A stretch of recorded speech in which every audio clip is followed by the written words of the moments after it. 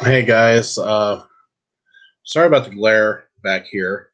Um I'm new laptop and everything's new layout. I'm trying to figure out how to turn dark mode on on uh Chrome and I forget how to. So bear with me. Apologies for the glare though. Uh I find it to be extremely annoying. I'm sure you probably will as well. But either or, I digress. Um, welcome back to another episode of the ground floor. Today we're going to be doing the top 10 TV shows uh, of my liking. Um, and if my top 10 doesn't match your top 10, in the comments, put your top 10. Let me know. If you're listening to this on uh, podcast format, send me a message. Go to Anchor um, and look up uh, Hotel Nerd. Matter of fact, I will give you that website right now. Just go to anchor.fm backslash hotel nerd and you can send me a message. Uh, you can send me a voice message and you can do donations and the whole nine uh, right there on Anchor. So if my top 10 doesn't match your top 10, let me know. Send reviews. Let, let's have a conversation. Let's because I would like to do one of these live one of these days, but I need people to be watching for me to do these live. I would love to do them live. I want to speak with you, but uh, until I get a base, I'm going to just keep doing pre-records because it's uh, a waste of time to do live and just speak into nothingness. so, and with that being said, another way you can help us out is uh, check out Pod Decks at the website down below. Uh, just go to look up Pod Decks on Google, do some shopping, and uh, use redeem code uh, Nerd21 and you get 10% off of any physical merchandise that you order. And uh, you help the channel out as well.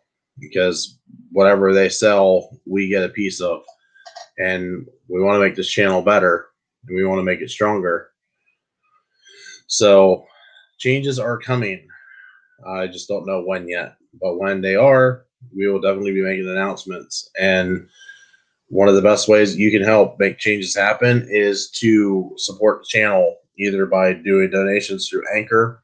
You can do donations through Stream uh, Labs. Just go to hotel, hotelnerd.live and send in questions with donations. It helps. Trust me, it helps.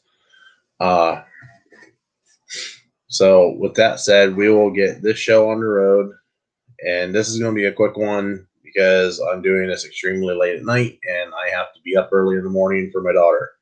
So let's just get right to it.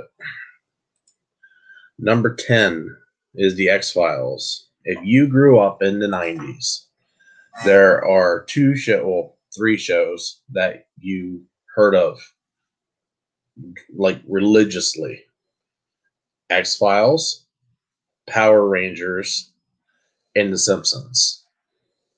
Those were the three shows that you heard of in the 90s.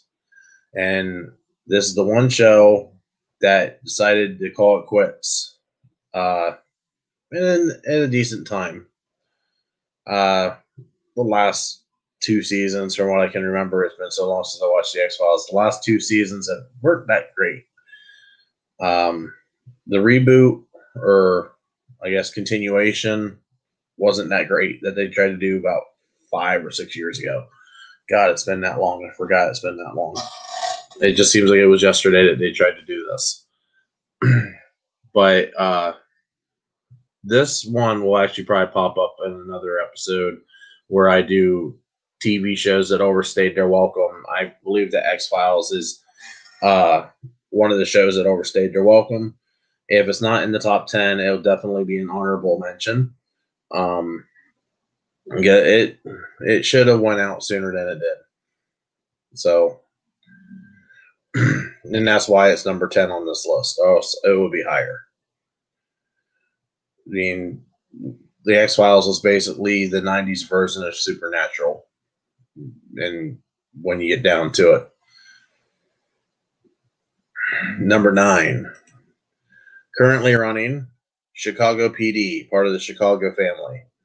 Uh, you will see Chicago shows pop up quite often uh, on my list while I'm talking about TV. I'm not so partial on Chicago Med, but I do like Chicago PD and Chicago Fire. Uh, Chicago Fire was the one that started everything, and Chicago PD was spun off of that. And then Chicago Med spun off both Fire and PD. And then there was a fourth show that lasted for not even a season. It was called Chicago Law. And it didn't do very well. It was the driest of dry shows that was out there, and they didn't even give it a full season, if I remember correctly, and it went yoink. So uh, so we got the Chicago trilogy, PD, Fire, Med.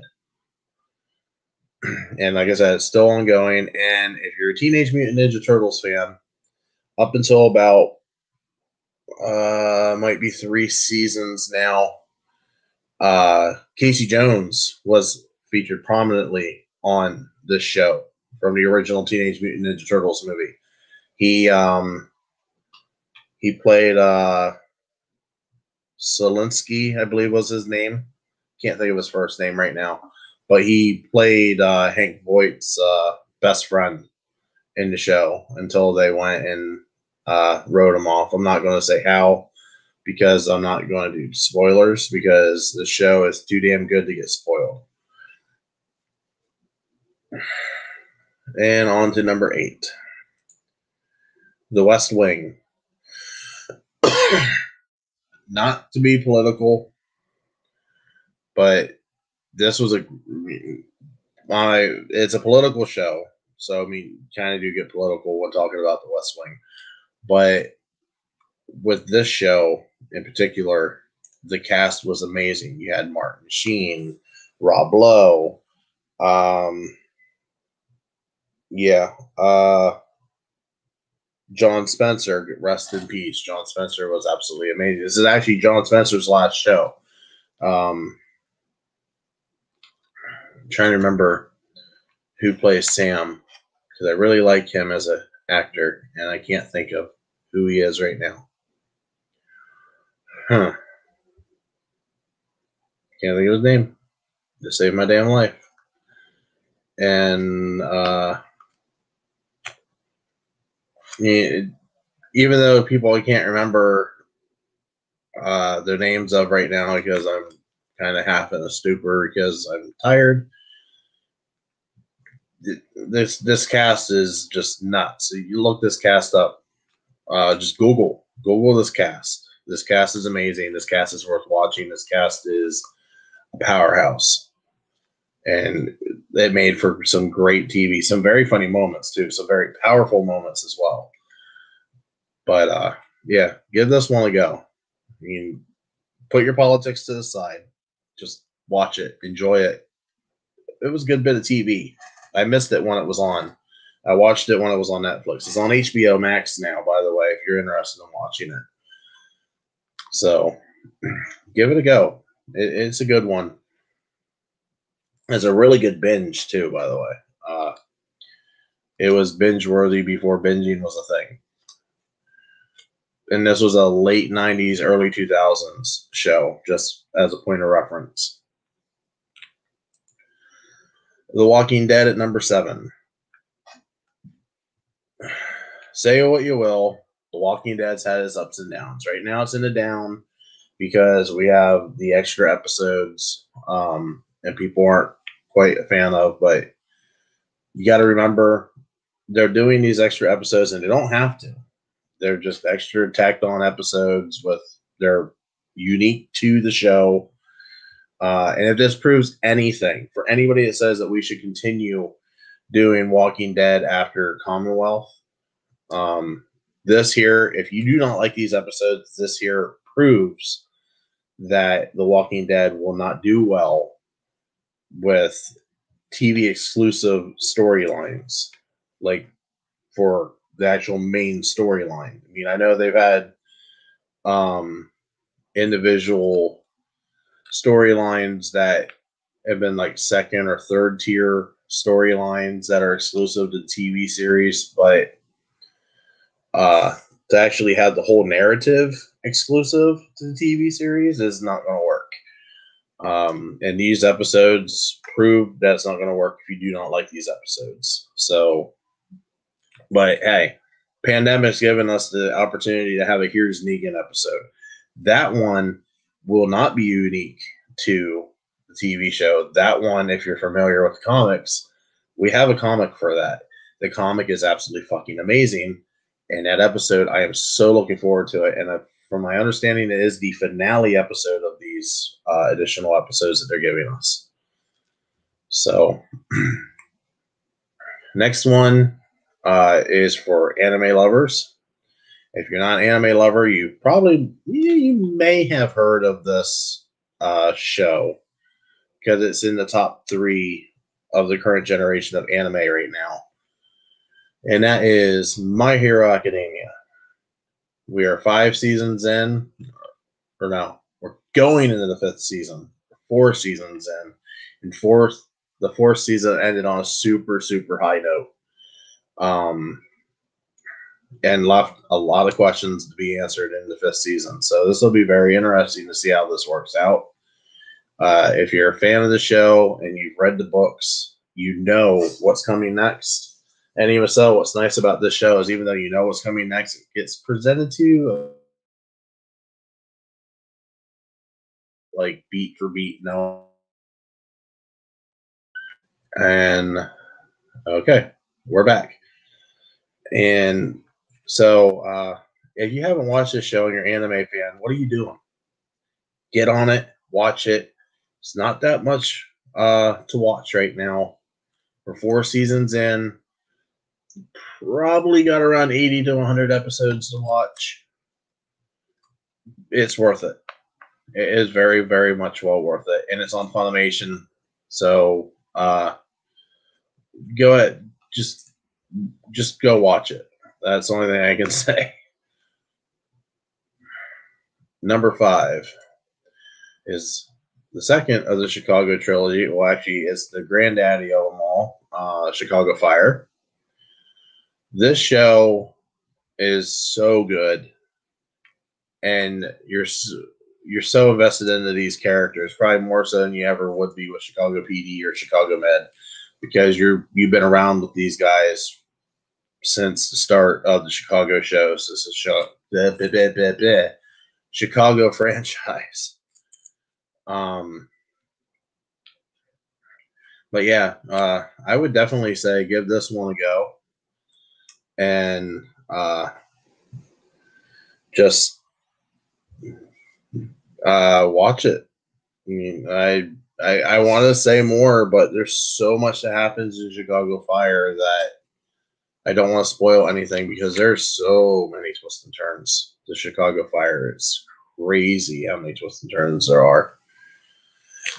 But with that, we're halfway through the list, and we're going to take uh, about a 15 to 45 second break, and we will be back momentarily.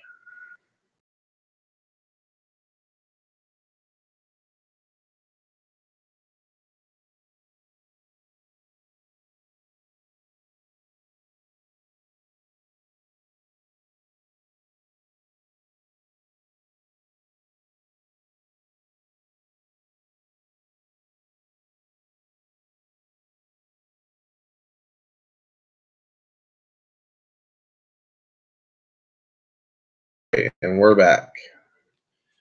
Uh, so now we've got through Chicago Fire, and we move on to number four, and that is 24. And depending on how 24 finishes out, because I have, two, you might as well say I have a season left because season nine is only 12 episodes, and I think I'm on episode 12 of season eight. Uh, so I have a season left of 24. Depending how 24 finishes out, will determine where this truly ends up landing on my list. Right now, it's at number four. It was at number three, and then so far with what I've seen in season eight, I'm not quite sold on it. I think it may have should have ended at season seven. Uh, so we'll see. Maybe I'm wrong. Maybe it'll surprise me. But 24 is pretty good. Kiefer Sutherland. Uh, I'll be honest, I haven't really seen him in anything else other than Young Guns. Uh, I think he was in Flatliners. I think. Correct me if I'm wrong on that, but I think he was. Or was that Emilio Estevez? One of them was in Flatliners. I know Emilio Estevez was in Mission Impossible and Mighty Ducks. But then Kiefer, I don't remember seeing him from Young Guns and anything until I seen him in 24. And like I said, I think Flatliners before that. And I know he was in Designated Survivor. So, but uh, most other people I don't know in this series. I know Zachary Quinto was in season one. Uh, oh shit, who played Milo? Um, damn it, I can't think of his name. Saved my life. He uh, played, uh, I think his name was Hatchet in Haven on Sci-Fi. Stephen King adaptation of the uh, Cowboy Kid or Colorado Kid. so I can't think of his name. I know his face. I can't think of his name. And he's in off and on throughout the series. Um, Jon Voight's in about half of a season. Uh, the guy that recruits Nicolas Cage and Gone in 60 Seconds there at the beginning of the movie, he's in for about a quarter of a season. Can't think of his name either. There's a there's a lot of heavy hitter names in this franchise. Uh, they they paid big bucks for some of these people, I'm sure. But yeah, 24 definitely one to watch. Uh, another anime title, Attack on Titan, currently in its final season. And the final season has been amazing. And sadly, uh, as it stands right now, they're doing 16 episodes, and unless they're doing a part two to the final season, which is season four. We probably aren't going to see the end of the manga arc, uh, which ends next month in the anime form, which kind of sucks ass. I'm going to be royally pissed because I've invested many, many, many, many, many years of my time to the show and if they shit on us, I'm going to be royally pissed. And this will definitely go off of my top 10. This will be a, probably go from number three, go to like 95 on my list of anime because I've seen at least over 140 anime uh, titles. This will probably be in the 90s if they shit the bed and they don't give us the ending that we deserve. at least let us know that you're going to continue. It's the only thing I ask. Let us know you're going to continue. And if it means that we get like a 16 episode final arc of the final season, then great. Then that means the final season is 32 episodes long. but if you only give us 16 episodes and you end it at a really shitty spot, then yeah, and you don't announce that we're going to continue, no, I'm no, no completely lose me. Number two, ER. Uh, this was a, I believe it started in the mid 90s. This is where George Clooney really got going.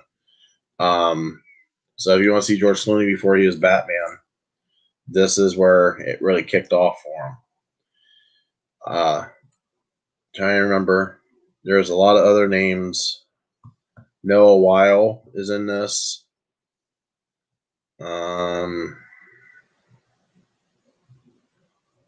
do, do, do, do, what's her name? Uh, from NCIS New Orleans. She plays the uh, the uh, medical examiner. Um, CC Pounder or CJ Pounder or something like that. Uh, she's in this, which actually kind of threw me back when I rewatched ER uh, first couple of seasons, and I saw her in there. It's like, oh, I didn't realize who you were before. Um, oh God, there's a lot of heavy hitters that started here. Um, or shouldn't say started here as much as they got noticed here. And I'm blanking on the rest of them because, like I said, it's late. I'm tired. So, finally, for the ground floor, and actually, this is probably going to be about the normal length episode now that I'm looking at it. I've tried to make it short, but Sorry, guys. The ground floor. It's got to be MASH. I can watch MASH. I don't care what season it is. I can watch MASH and I can just sit down and I can just watch hours on hours on hours of MASH and just be thoroughly entertained with Alan Alda and the rest of the cast. The jokes are great. Uh, they take heavy material and they make it entertaining. Uh, and that finale, oh my god, I've only seen it once. But that finale, whew, that sticks with you, especially when he's flying away in a helicopter. Ooh, chills just thinking about it. Great finale, probably the best finale actually in uh, television history. I don't see anybody topping that anytime soon. And they sure as hell haven't topped it since. Um, but yeah, that that's the ground floor. Um, that's the top ten uh, TV shows that I've seen. So thank you for watching, and please join us next week when we do top ten worst television shows that I've ever seen. So, with that, have yourself a good night, and we'll catch you next week.